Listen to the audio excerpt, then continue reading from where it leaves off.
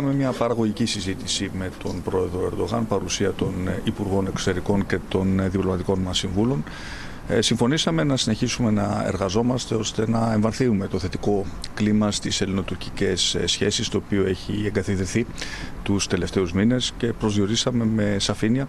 ε, το επίπεδο των επαφών και των συναντήσεων για το επόμενο διάστημα σε επίπεδο πολιτικού διαλόγου, μέτρων οικοδόμησης, οικοδόμησης εμπιστοσύνης αλλά και προώθησης της θετικής ατζέντας. Συμφωνήσαμε επίσης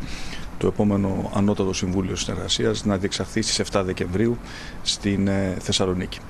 Ταυτόχρονα είχαμε την ευκαιρία να συζητήσουμε και για μια σειρά από κοινές προκλήσεις που αντιμετωπίζουν οι δύο χώρες μας. Να σταθώ ενδεικτικά στο πρόβλημα της παράνομης μετανάστευσης, όπου πιστεύω ότι είναι απαραίτητη η συνεργασία της Τουρκίας προκειμένου να μειωθούν στο ελάχιστο οι μεταναστευτικές ροές.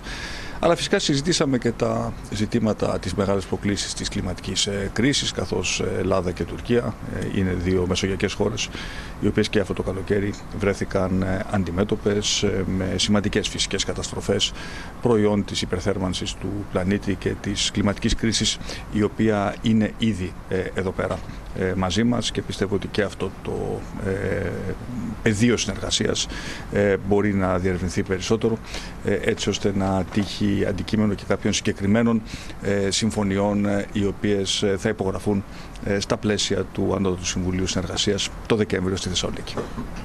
Αυτό λοιπόν